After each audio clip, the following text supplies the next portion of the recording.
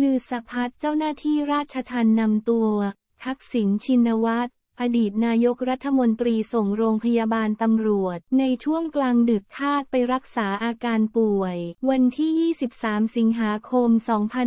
2566 ผู้สื่อข่าวรายงานว่าหลังจากกรณีที่นายทักษิณชินวัตรอดีตนายกรัฐมนตรี ได้เดินทางกลับมาประเทศไทยโดยลงเครื่องบินส่วนตัวที่สนามบินดอนเมือง และได้เข้าไปสู่เข้าสู่เรือนจำพิเศษกรุงเทพมหานครเมื่อช่วงบ่ายที่ผ่านมาโดยมีแยกการคุมขังไว้ที่แดนเจ็ดซึ่งเป็นสถานพยาบาลของเรือนจำกรุงเทพมหานครเฉพาะท่านคนเดียวและจัดเจ้าหน้าที่เฝ้าระวัง 24 ชั่วโมง